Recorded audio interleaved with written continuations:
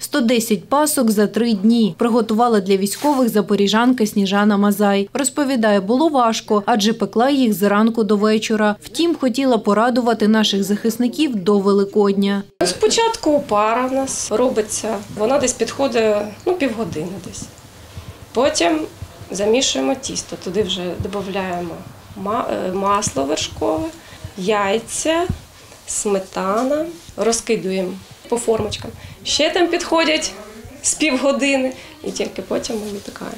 Також військовим будуть передавати пиріжки. Їх готують разом із сусідками, каже голова ОСББ Ірина Коваленко. Сьогодні в нас з п'яти ранки кипить робота. Е, Ми вже приготували, ну десь плануємо 900 пиріжків. І вчора нам принесли 140. Ну, думаю, десь у нас 1200 буде пиріжків, булочок, це однозначно. У начинку кладуть капусту, картоплю з печінкою та рис з яйцем і зеленню, розповідає Ірина Коваленко. Передавати пиріжки будуть захисникам на Запорізький, Херсонський та Лимано-Куп'янський напрямки. У нас війна. Ну що ми можемо у себе в будинку? Ми можемо е, об'єднатися та пекти пиріжки. Нам волонтери е, муки надають, е, олію іноді надають.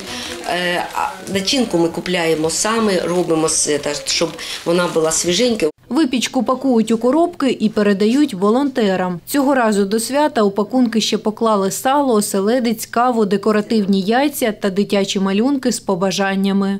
Оці листівки від цих діточок, які прийшли нам з Болгарії спеціально до Великдня, ми запакували везде, де пасочки. Якщо солдат візьме пасочку та візьме оцю картинку з діточок, я думаю, що він відчує рідну хату. Готують пиріжки сусідки щотижня останні півроку, каже Ірина Коваленко. Хлопці нам зробили отакі шеврони.